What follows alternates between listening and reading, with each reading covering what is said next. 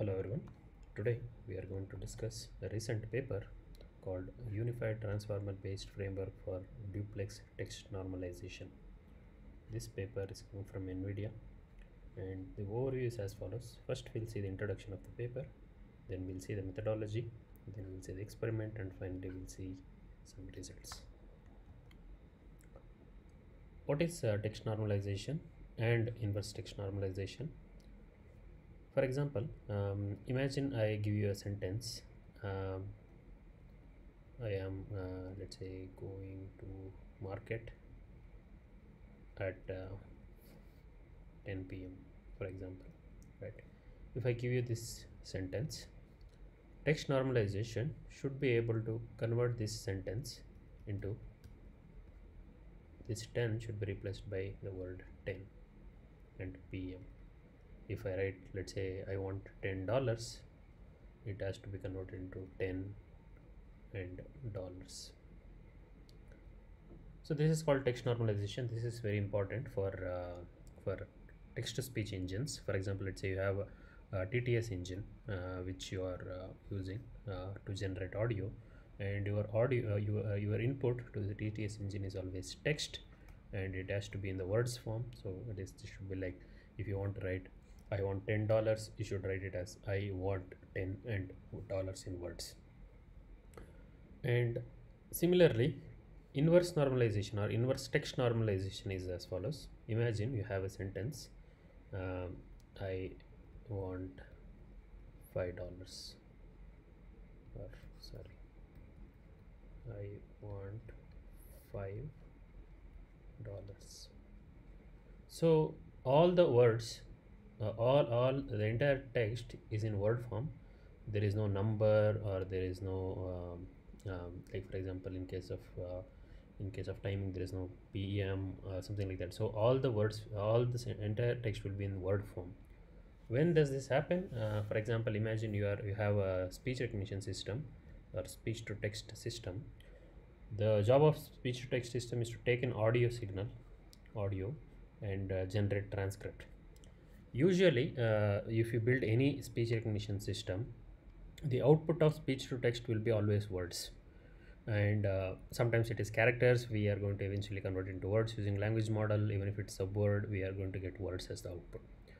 And the output will be all words. There will be no numbers. There will be no comma full stop or dollar symbol or anything like that.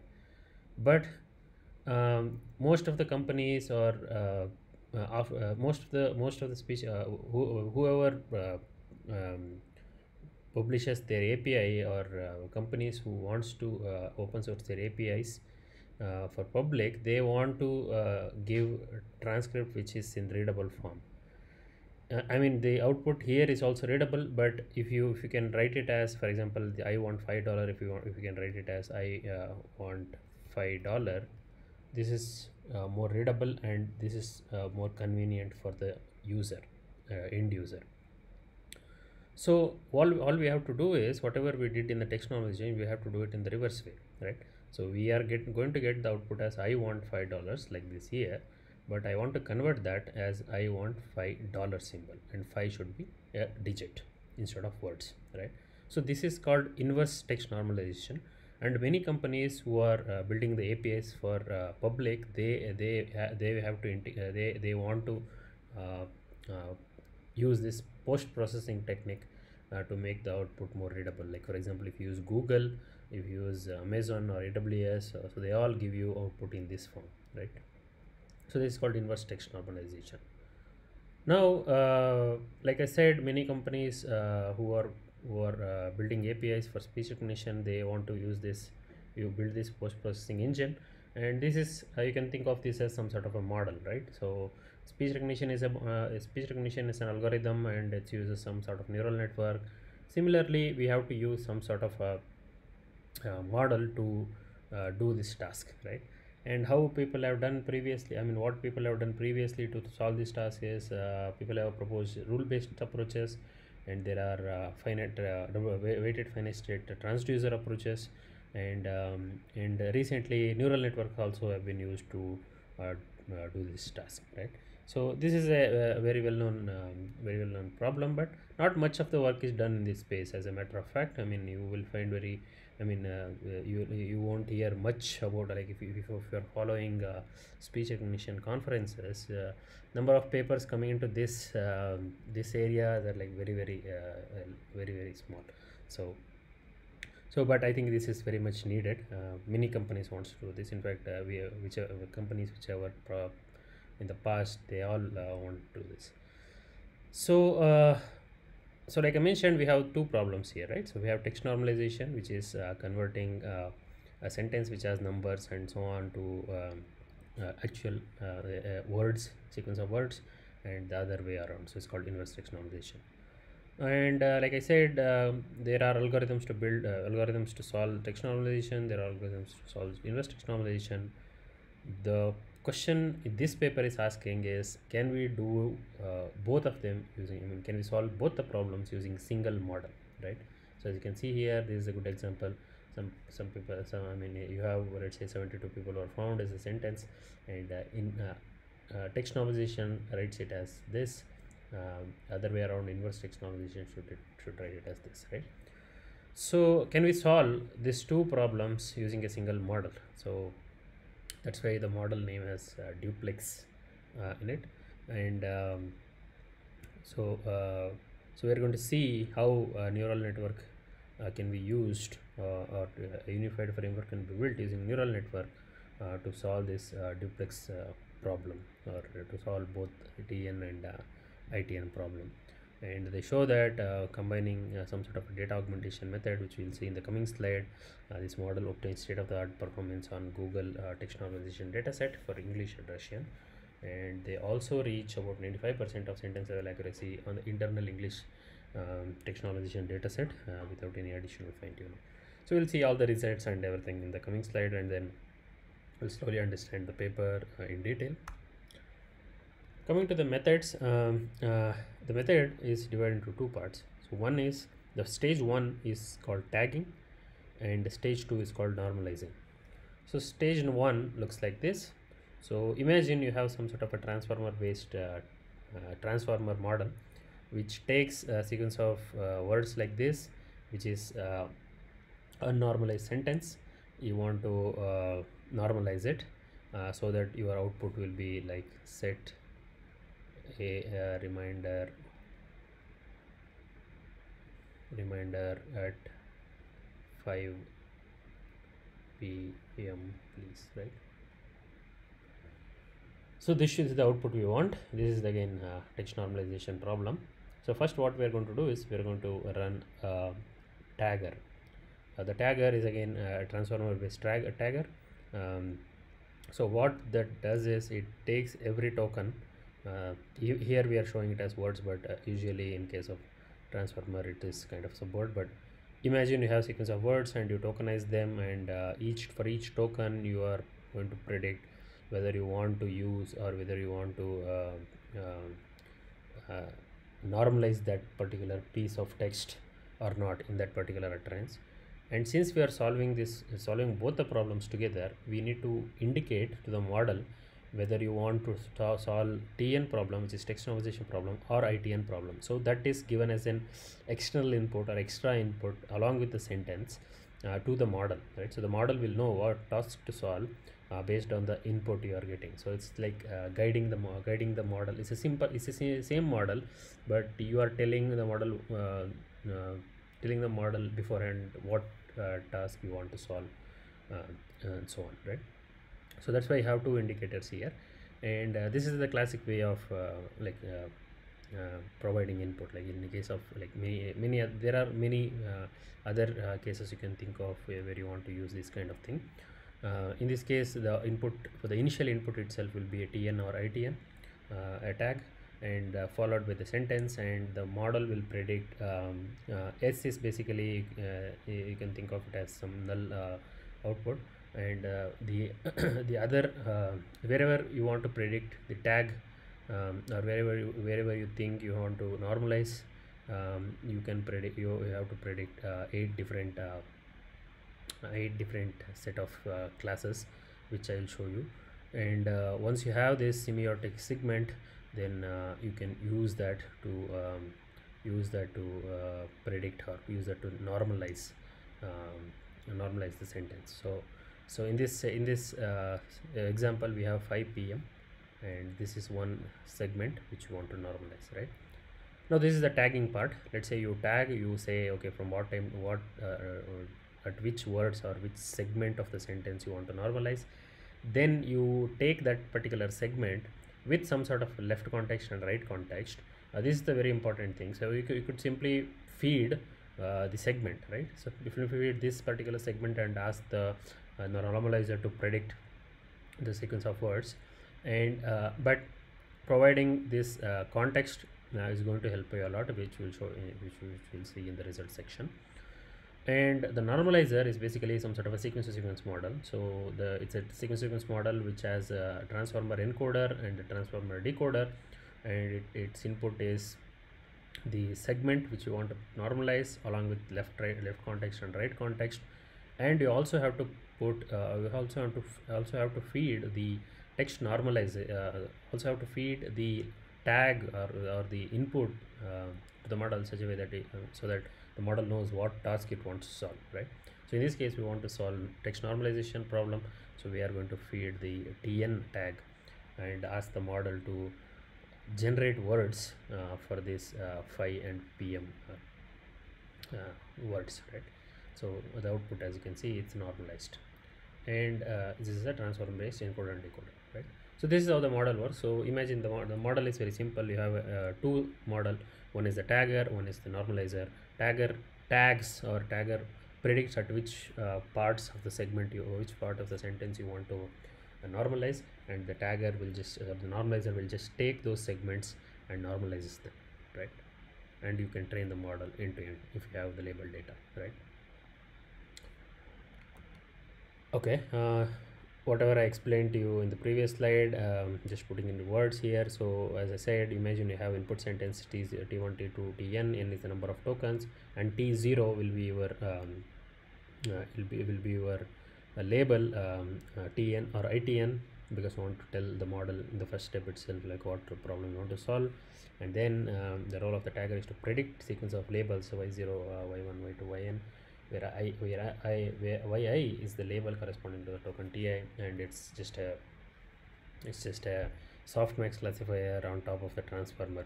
So xi here is the transformer feature encoder. Uh, for example if you are using uh, um, BERT base um, uncased uh, you will be having 756 dimensional feature vector that you multiply with some some uh, feature matrix which which will which is uh, which take which the which is of a matrix size this uh, with some bias and do some applies uh, softmax and you are creating eight characters eight uh, uh, classes right?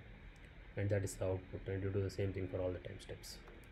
Coming to the transformer based uh, normalizer again um, you have uh, like say for example if you have a sentence and uh, if there are m number of uh, uh, m semiotic uh, spans means uh, let's say if I write uh, I want ten dollars and I will go to shop at 5 p.m. or something like that right?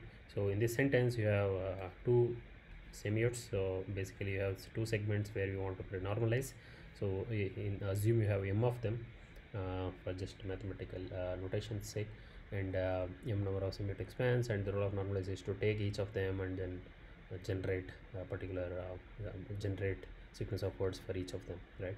Uh, so that that's the job of uh, transformer normalizer. And again as i said the architecture is simple. You have encoder which is a transformer you have decoder and you train the model. Uh, again this is an example of how data augmentation is done during training. So imagine the output of a tagger is like this a transformer tagger and the tagger will tell you okay this part you want to predict or this part you want to um, generate the or this part you, you want to normalize. So you can simply feed this as the input right? And the model is to predict like this.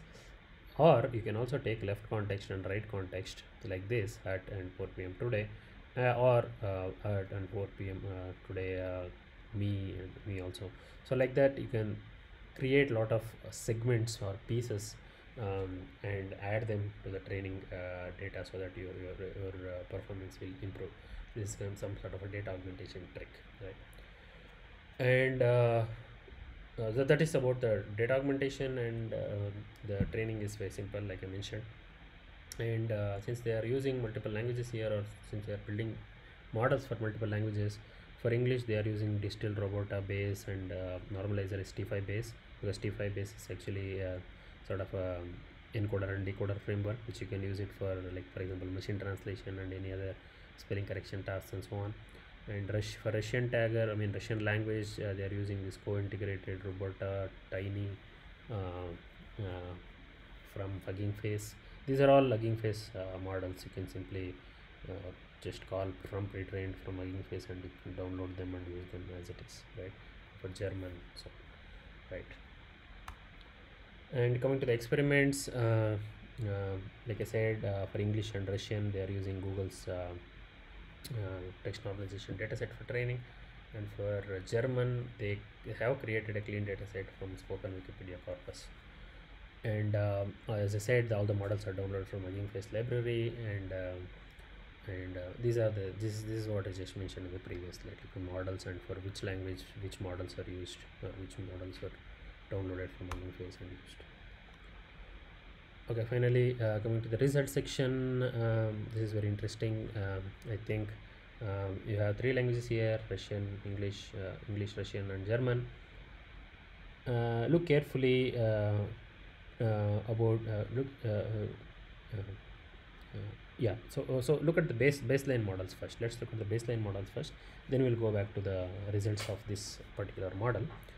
The baseline first baseline you should look at is this model this NeMo's WFST um, WFST so basically this is a WFST based uh, inverse text normalizer or non uh, text normalizer uh, which is uh, which is actually with this this is actually present in NeMo uh, library. NeMo is open source toolkit uh, for speech recognition and uh, natural language processing uh, which is uh, I think it's, it's it's from NVIDIA and they have uh, text normalizer as of now. Uh, you can see it's based on WFST and for uh, English it gives you inverse text normalization gives you 75% which is very bad. Uh, and for Russian it's given was just 50% and German it's, it's also very bad very very bad right? Now uh, if you just add a transformer um, based model. Uh, you are already uh, there is no results here for this uh, inverse text normalization but for text normalization they are already working really well right? And adding this duplex and simplex simplex is basically one way means you only have the, you, you only use the model for text normalization or inverse text normalization duplex means combined. And uh, that also that's already giving you one percent improvement right? And if you add data augmentation it's it's a little bit more increment what you want to see is uh, this is the surprising result. Uh, you are going from uh, uh, NeMo's WFST is the baseline model no, WFST to going going from WFST to transformer or duplex based systems the, the, improvement is quite big right? And same thing happens even in Russian and uh, German languages as well. So this is very interesting result uh, and uh, so, and similarly you can, you can look at the results for text normalization also but I am more most uh, uh, inverse text normalization is a bit difficult to solve problem compared to text normalization I think. Uh, because inverse text normalization uh, you can I mean there are multiple ways of mapping a particular sentence into a word so so that that's that's the thing. So so anyway uh, as you can see this duplex based system outperforms all the baseline models as you can see. Also it uh, it also shows that uh, if you combine the two tasks together um, you are already getting improvement except for the Russian where you have uh, where simplex model is working better than the duplex one but most of the cases uh, duplex systems works a little better than simplex simplex systems. Simplex means one one system means it's, it's used only for one task whereas duplex is used for both the tasks. And uh, uh, this is the results of uh, both duplex and simplex with and without data augmentation. As you can see for duplex if you add data augmentation you are getting like almost 2% improvement. Uh, for simplex also you are getting about 1% improvement. And that's all for this uh, tutorial. Thank you so much for watching this tutorial. Uh, um, if you like this kind of uh, tutorials please subscribe to my channel and click the notification button. And if you like this tutorial please give a thumbs up. Thank you